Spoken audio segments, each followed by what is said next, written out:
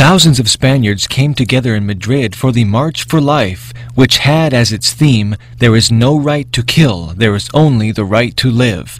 87 simultaneous marches took place across Spain, where thousands expressed their commitment to defend life against a law proposed by the socialist government to liberalize abortion in the country. Speakers at the Madrid March included the president of the watchdog website hazteoir.org, Ignacio Arsuaga.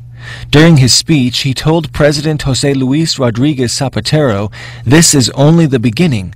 We will stop the pro death roller of the government. We are going to win the battle for life, and this movement is now unstoppable.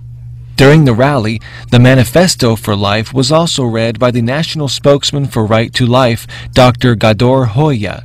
It was also read at the other marches throughout Spain.